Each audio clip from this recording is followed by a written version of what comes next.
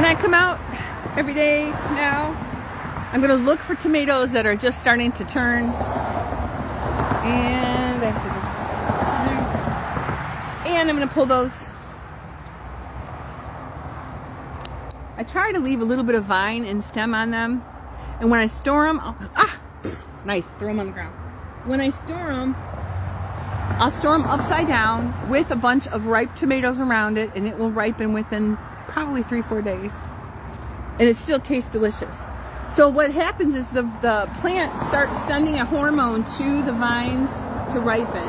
And a lot of times it's the same bunch that gets the hormone. So if this was all tomatoes and you had it one on top that was starting to ripen, that hormone is already coursing through that particular vine and you could take the whole branch of uh, tomatoes off and ripen them together.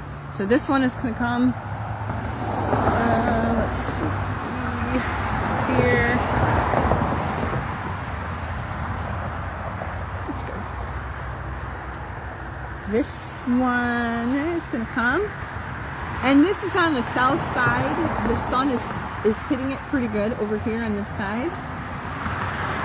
That's the other part is if your tomato if you want your tomatoes to ripen a little bit sooner, then take off the leaves. There's a lot of leaves that can cover them up and uh, once you remove the leaves, the sun can get exposed. You know, the tomato can get exposed to the sun.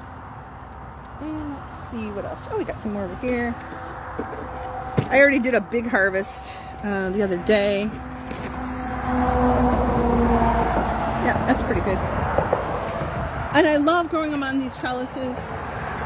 That's the east side. This is the west side. They get sun all day long, basically.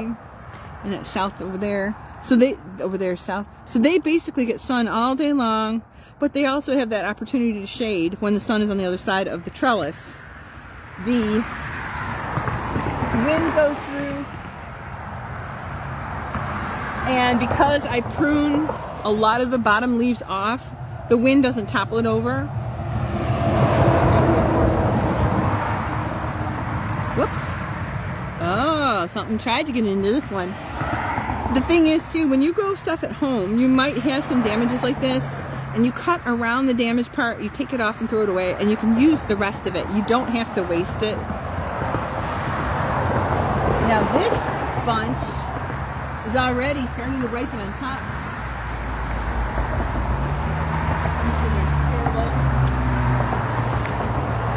So I have two that are starting to ripen here, right here.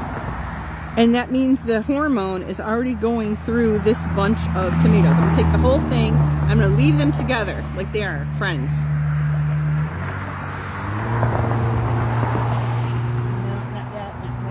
Oh, there's some here.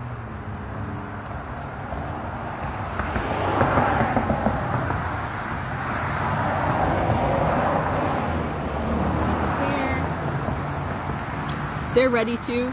And of course I didn't get the, the leaves, but that's all.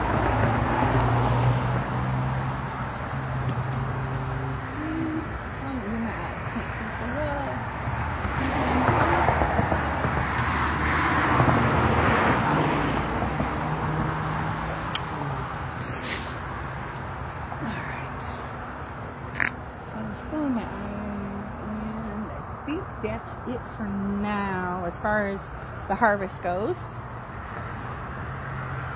stick them all in my basket. If you forgot to bring a basket out, use your shirt. or use a hoodie. Or use something so you can carry it all and not drop it on the ground as you're traveling.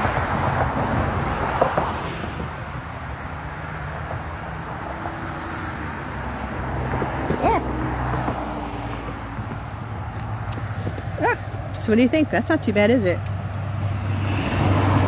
I'll take you where I where I um get them going, ripened. Actually, I don't know if I have enough room in my boxes. Gotta check.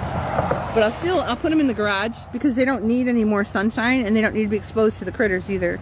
And then I'll show you this one cool thing. And then I'm gonna get going to work, or to horses and then work. And where'd my cool thing go?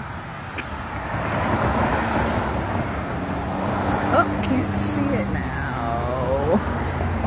Yeah, up here. I was moving the branches yesterday There it is. This is a, an awesome site. I love it.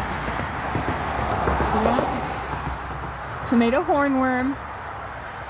The parasitic wasps laid a bunch of eggs on it. When those hatch, they go into the hornworm and eat it, and they make more parasitic wasps, which protect the plants.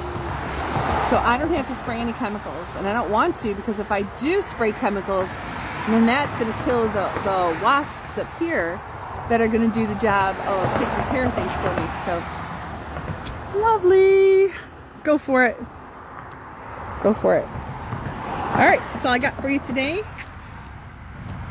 Happy growing. Oh, I know. If you want a garden, there is never a bad time to install a garden.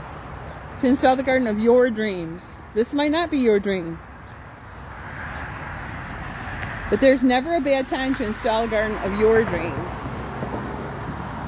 And I can help you do that.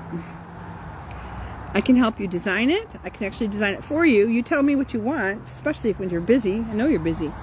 You tell me what you want, and I'll write it all out.